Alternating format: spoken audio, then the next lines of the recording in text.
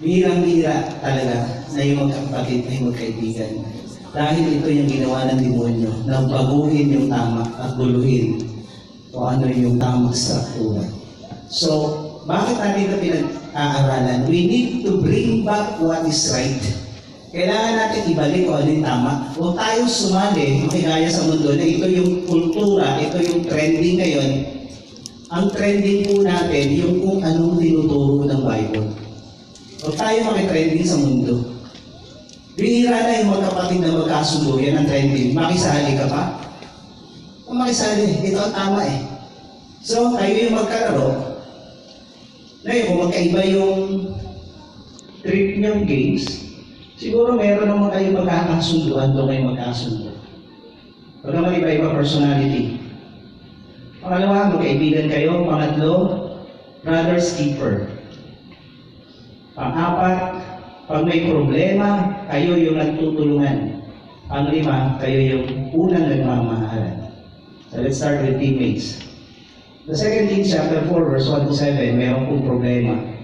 Meron po isang propeta, lingkod ng Diyos, tapat kay Lord, laging nasa church, pero namatay na may utang. Siguro hindi na nagtatrabaho to, wala pang insurance. Malapit kay Lord, hindi sapat na malapit ka kay Lord. Okay? Malapit kay Lord, tumutulong sa kapwa, pero walang ipon. Namatay. At ang sabi sa kwento, kukunin nung nagpautang yung kanyang dalawang anak para pambayad sa utang. Nung namatay, na lingkod ng Diyos. Mabait na tatay, pero walang pera. Walang ipon, walang insurance.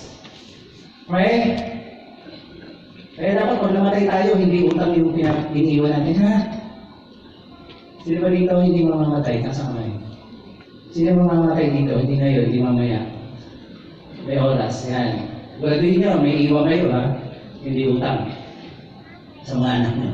So, dumating yung naniningil, sabi dito, Now the wife of one of the sons of the prophets cried to Elisha, Your servant, my husband, is dead.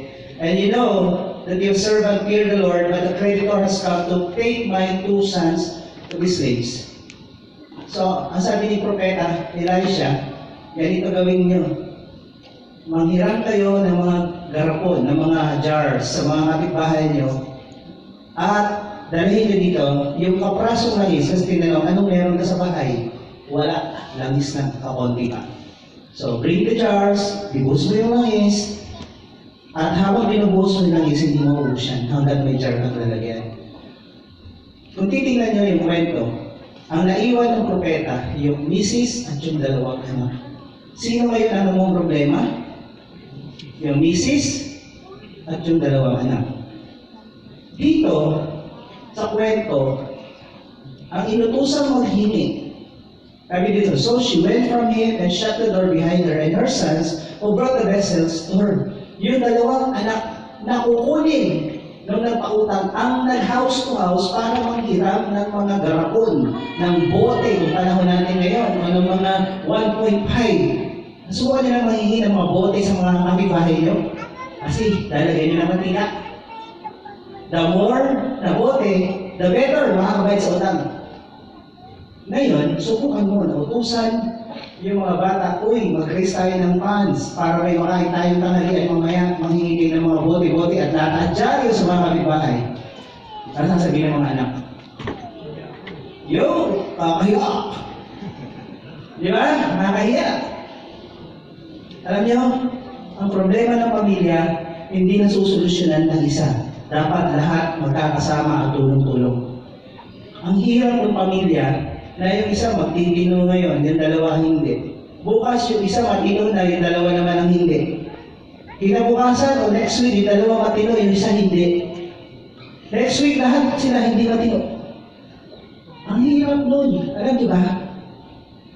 Ang ayusan ng pamilya, you do your effort, mag-effort ka tumino, sumunod, gawin yung rules, rules mo. Okay? Sabay-sabay. Sabay-sabay. Dito, sabay-sabay sila nagtrabaho. At yung problema nila napakalaki ng solusyonan.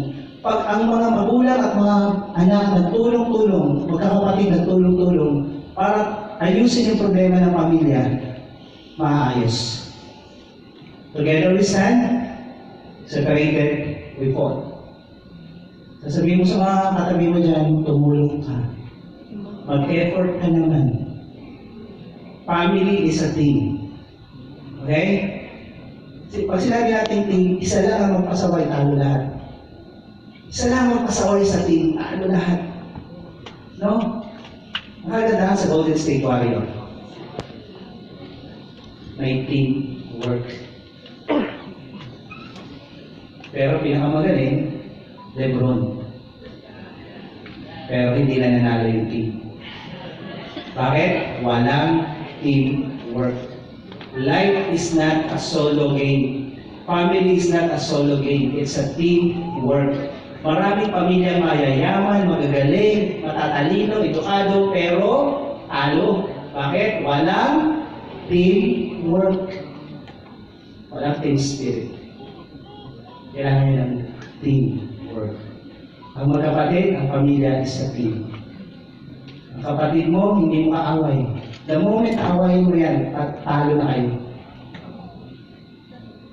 Hello? Pag inaway mo kapatid mo, talo na agad kayo. Hindi pa kayo naglalaw, talo na kayo. Kaibigan, your brothers and sisters should be your best friend.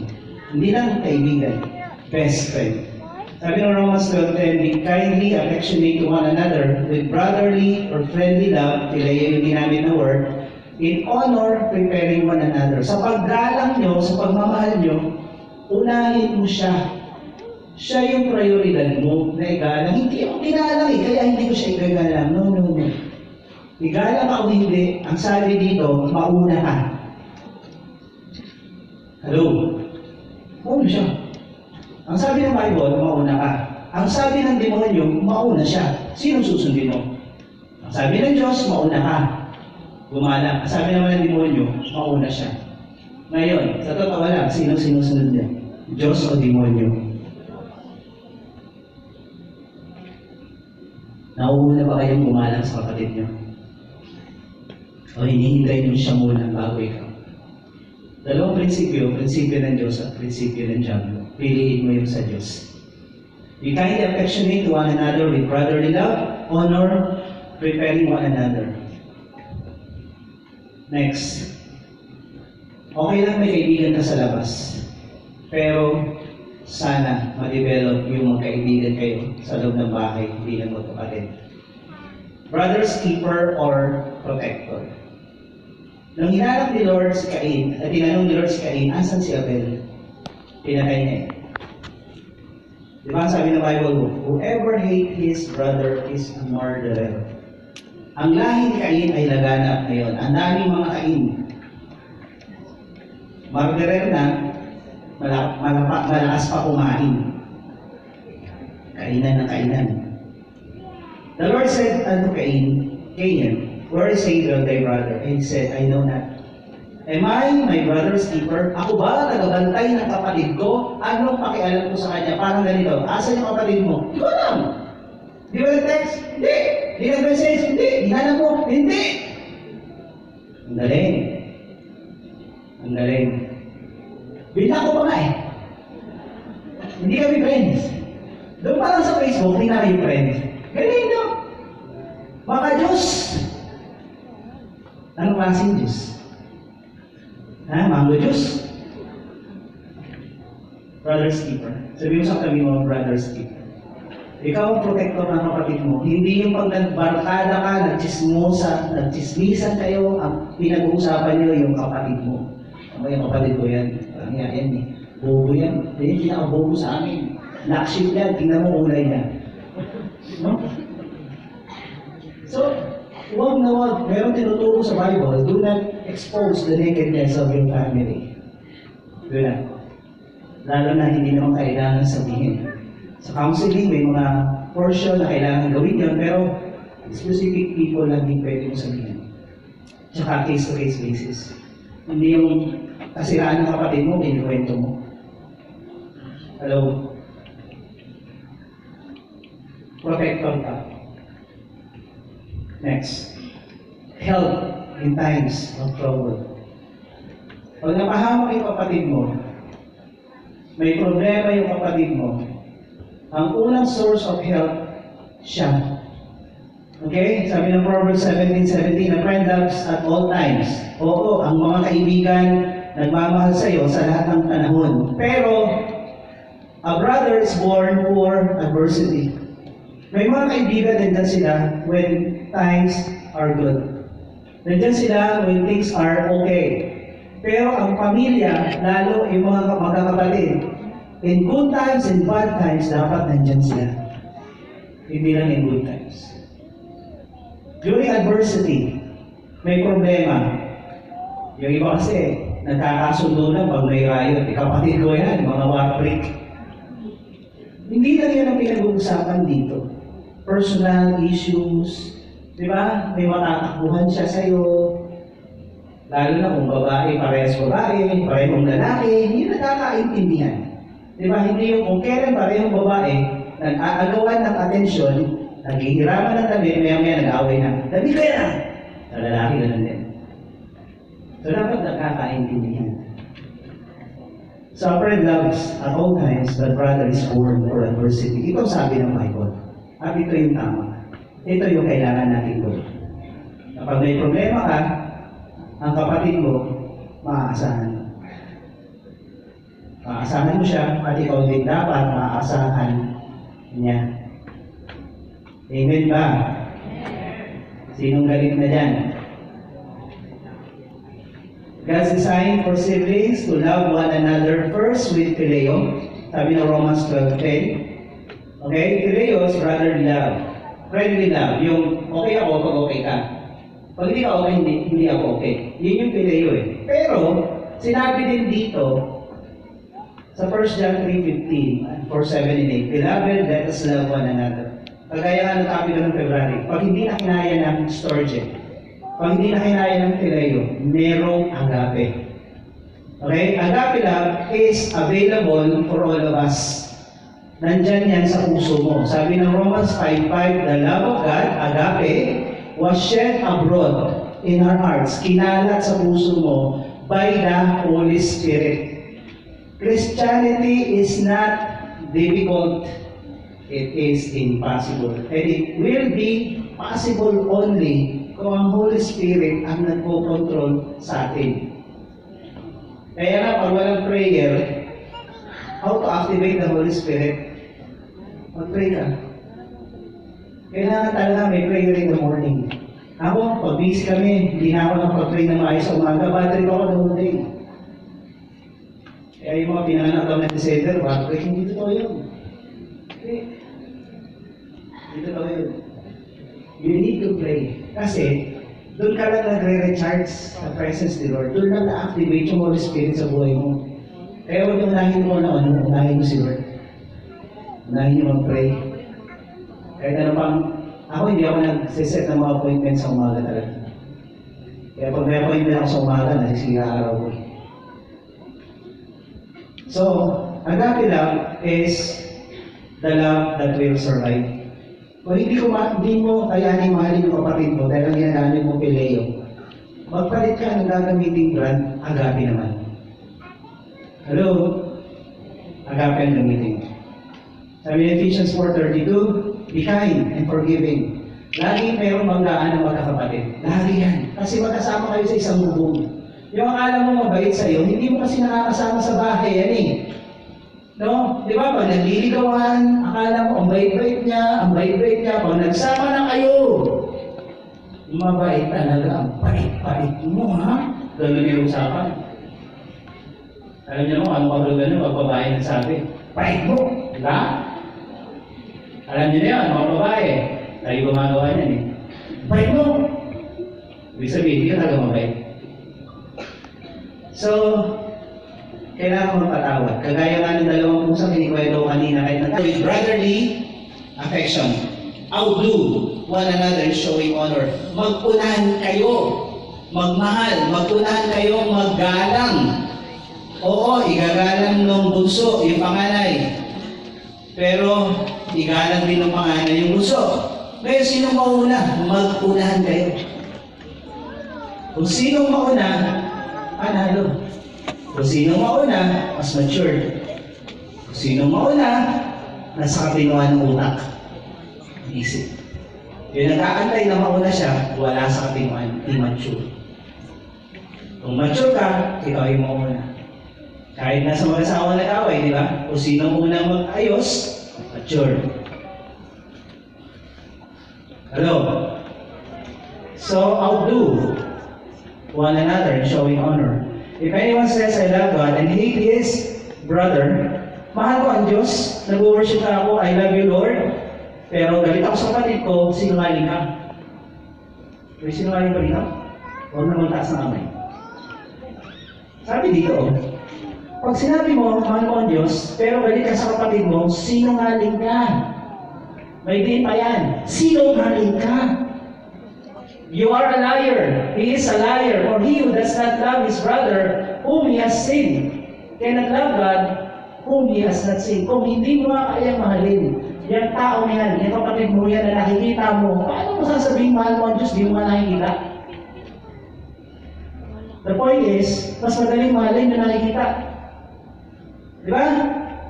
Kadalasan nga, ilab na ilab ka dahil nandiyan. Pag nawala na, hindi ka na ilab. Kasi di mo na nakikita. Di ba? Hello? Kaya ang iba naglalagay ng picture sa wallet. Eh ngayon may cellphone na. Sa cellphone na.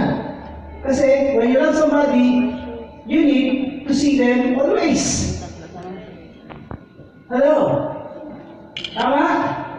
At pag di mo na nakikita, parang yung visual natin at saka yung puso natin magkarugtong. Nawawala rin yung affection. Correct? So ang point ni Lord is, mas madaling mahalin yung nakikita. Mahirap mahalin yung hindi nakikita. Kung yung nakikita mo hindi mo kaya mahalin, mas lalo yung hindi. Hello? At ang sabi pa dito, In this commandment, we have, hindi mo mahal ang kapatid mo, hindi mo rin mahal ang Diyos, huwag ka nang manloko pa. Ang hindi nagmamahal sa kapatid, hindi mahal ang Diyos. Everyone who hates his brother is a murderer, and you know that no murderer has eternal life abiding in him. Ang hindi nagmamahal sa kapatid, mamamatay tao. Hello? Pambihira. Nakakita na kayo ng church na naka-attend, sinungaling na, killer pa. Ha? Mag-ingat kayo sa katabi nyo. Baka may killer dyan, baka may ako sinungaling dyan. Di ako killer, ako sinungaling. Dahil, pag ikaw daw galit sa kapatid mo, killer ka. You are a murderer. Okay? Iba yung murder sa homicide. Di ba? Yung murder, pinagplano mo patayin. Correct? Yung homicide, pinatay sa loob ng bahay. Yung suicide, pinatay sa tabing dagat. Yung parasite, pinatay na pare. Yan. Kalimutan niyo lahat siya. To be kind and forgiving. Ephesians 4.22 Be kind to one another, tender-hearted, forgiving one another as God in Christ forgave you.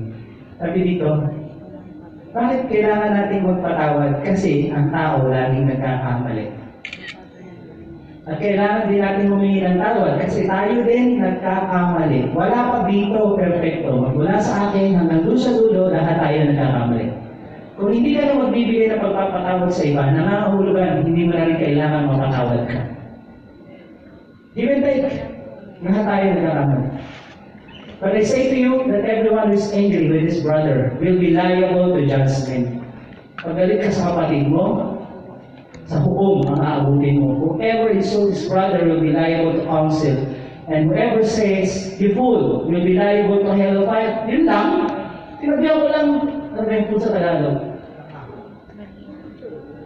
Hindi. Hangal. Di ba? Hangal. Sinabihan mo lang ng hangal, mapupunta ka na pala sa impyerno. Wala, lagot tayo dyan. Magsisi na tayo. So if you're offering your gift at the altar and then remember that your brother has something against you, leave your gift there, there before the altar and go. Parang ganito. Mag, magtutugtog ka o may gagawin ka, pero may kaaway ka eh, may gagawin ka, may pag-ayos ka muna. Hindi, hindi na lang ako magsisimba. Pinalala na lang may kasalanan. Di ba? When you do something good for God, pero may naalala ka may problema, lalo sa kapatid mo, isettle mo muna. Para katanggap-tanggap, yung gagawin mo para kay Lord. Ang sibling, uh, siblings rivalry ay nakasulat na sa kasaysayan. Si Abel, si Cain, si Jacob at si Iso, sa paglabas lang sa tiyan ng nanay nila, ang ko ito ng agawan. Si Abel, pinatay ni Cain dahil lang sa offering. Si Jacob at si Iso, nag, nag-aaway dahil lang sa birthright, sa mamanahin. Kilala ko kayo gano'n, mamanahin na, pinag-aawayan pa. So, si Joseph, selos ng kanyang mga kapatid. So, itong siblings rivalry, matagal na to na meron. In the Old Testament. Pero hindi ito gagawa ng Diyos. May gagawa ng kasalanan na nananalay tayo sa katawan ng mga tao. At dinaratungan ni Satanas para lalong lumala. Ngayon, tayo ay malaya na sa kapangyarihan ng kasalanan at ng demonyo. Kaya yung sibling rivalry hindi na dapat makita sa atin. Kasi hindi na namin ko yung satanas eh. Pinalaya ka na, lalo naging counter-counter ko pa eh. Di ba? Pangatawanan natin to. At sa mga magulang naman, please, walang favoritism. Kahit ikaw, magulang, wala kang paborito, kung may anak ang dalawa pataas, wala namang anak mo isa tapos i-accuse ko pa ng may paborito ang iba. Pero pa kayo gano'n, isa lang anak niyo, pero i-accuse ka, paborito mo si ganito. Pero wala. Wala, di ba? Abnormal na yon. Ang manok. paborito yung manok, sabi ng tatay matulog yung manok, no? Kasalubong sa manok muna. Huwag ganun. Okay, may nasasaktan tuloy. Okay. Ang favoritism pag yung anak mo dalawa pataas. Doon nangyayari yan. So, i-accuse ka ng isa na paborito mo si ganito eh. Nasabihin sa paborito mo si ganito. Wala ka na ng paborito na accuse ka pa. How much more kung meron talaga?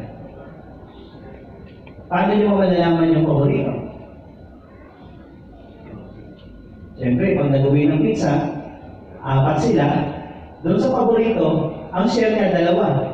Yung iba, tig-isa lang, o kalahati pa. Obvious naman yun, di ba? Kaya napalusot na yung magulang, actually, hindi, yung iba hindi palusot. Lalo na pag magkasunod yung anak niyo. Nung ito ang anak mo, siya yung bida, siya yung prinsesa, prinsipe ng tanganan. Lahat ng atensyon na sa kanya at regalo ng mga lolo at lula ay nasundan agad. Isang taon lang, dalawang taon lang, tatlong taon lang, nasundan agad. Yung todo attention dito ngayon sa panganay, mawawala, mapupunta sa pangalawa. Ano? Ganun siya. Ah, ano ba yan? Oo, ganun yun. Ganun yun. Hindi mo man sinasadya mapunta doon, kailangan mo kasi gawin.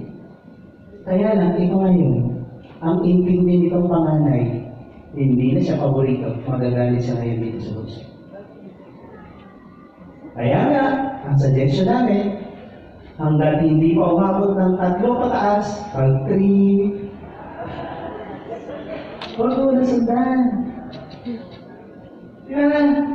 Kaya niyo mo na ma-enjoy ng una lahat ng pribileyo. Pagkatapos nun, bigyan na natin sa pangalawa. Or, magtrabaho ka ng todo, sapat na equal na attention, may katulong, may katulong, tapos ikaw na dyan, binibigay mo lahat, magtrabaho ka ng maigi.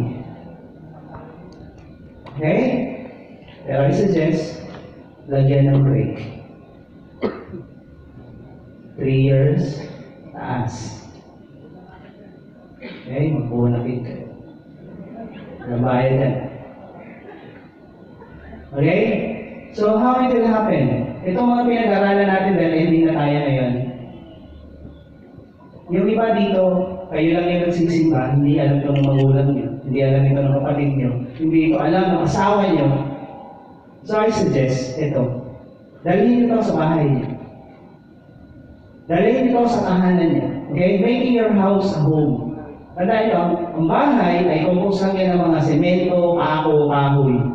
Pero ang tahanan, ito ay binubuo ng mga taong imperfect. Hindi perfectong mga tao. Wala akong perfectong pamilya. Kahit kami. Yung kinikwento ko kanina, minsan ako matino, sila hindi. Minsan sila matino, ako hindi. Pag nag-devotion kami, minsan lahat kami matino, minsan lahat kami hindi matino. Ganun eh. So walang pamilya perfecto. Pero, kung yung pamilya marunong sumunod sa tama sa Biblia, may chance. Okay? So, it composed of imperfect but loving and forgiving. Nagmamahalan, para yung mga pusa, naglundagan, nagkagatan, pero nagmamahalan pa rin at nagpapatawaran. Kaya hindi pwedeng nagtatanim na sama ng loob sa loob ng tahanan. Hello? Pamilya is a thing. Family is love. Kapuso. A place of security, comfort, joy, and freedom. Ang goal talaga ni Lord, ang tahanan, ang lugar na kung saan you can be who you are. Pag nabigo ka, nagkamali ka, that's the place na pwede mong takbuhan. Yung prodigal son, nung wasak-wasak na yung buhay niya, pangarap niya si Rana, wala na lahat sa bahay siya tumakbo. Hindi sa barkada. Kaya tayo mga magulang, marami din sablay. Pag nagkamali anak, sasabihin, wala ka talaga. Yung, tahanan na lang, pwede takbuhan, hindi pa matakbuhan. Kaya baguhin po natin. Amen? Pag sila sugat-sugatan, wala na, yung pangarap, sila na, the house, the home, yung Manila refuge. Ang pinakaligtas na lugar sa mundo, yung tahanan dapat. Amen? Bakit siya ligtas? Kasi may tatay, may nanay na nagpo-protect sa pamilya. Kaya nga hindi pwedeng lolo, lola, o tita. Tandaan nyo ha? Lalo na may mga tita nag-aalaga, wala pang asawa, wala alam kung palaki ng anak yan. Ang kaya niya palaki, mga demonyo ng mga bumalilit.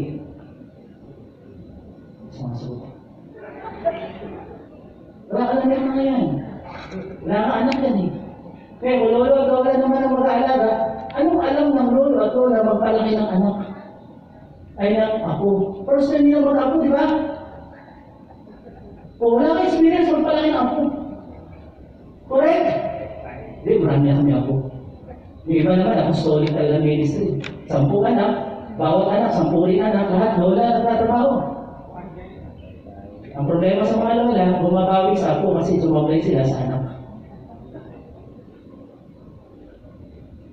To make our house a home, we need to consistently apply God's design for family. Mga misis, gawin niyo yung trabaho niyo. Huwag niyo ipukpok sa mister niyo, may trabaho mo, gawin yung trabaho ko. Hindi, kanya-kanya tayo. Kanya-kanya tayo. Mister, gawin yung trabaho niyo. Mag-unahan kayo. Kapatid, magkapatid, mag-unahan kayo. Huwag yung, susundin ko yan, pero mauna ka. Walang ganun, tandaan niyo sa demonyo galing yun. Kaya Lord, you outdo, mauna ka. Tandaan niyo, walang nananalong nahuhuli. Lahat ang nananalo, yung nauna. Kaya sabi mo sa tabi mo, mauna ka ha? Mo manalo? Mauna. Hindi nire-reward yung huli. Mauna kang sumunod. Bringing God's presence to your home. Establish a family devotion every week. Ito, madugo talaga to. Madugo yan. Pag nag-decision ka magkaroon ng devotion once a week, lahat ng demonyo sa impyerno lalabas at pumunta sa tahanan nyo. Guguluhin kayo. Pati trabaho mo guguluhin para lang hindi ka matuloy. Pinaglalaban to. Kaya nga, men are born to fight. Kung meron kang gustong awayin, si Satanas at pinaglalaban ang pamilya. Yung mga lalaki, tatay, huwag niyong isusuko yung pamilya niyo na kayo mismo yung aatras na lang. Mga tatay, malaki pananagutan natin. Hello? Mabunga nga kasi misis ko. Itong sekretary ko, talimit ko na lang. Ha? Ipaglaban mo. Paglaban mo. Eh, yung kumari ko, tahimik. Yung misis ko, madaldal. Si kumari na lang. Paglaban mo. Okay? Start a family care group in your house. Itong topic na to, kung hindi alam ng mga magulang niyo to, ng kapatid niyo, ng tatay, nanay, you can start a care group. Pag-aralan tong topic na to. Pwede kayo magbukas, pag-pray niyo, napayagan kayo sa tahanan. Okay? Bringing God's presence to your home, establish family devotion. Ito na. Sa 2 Samuel 6.10,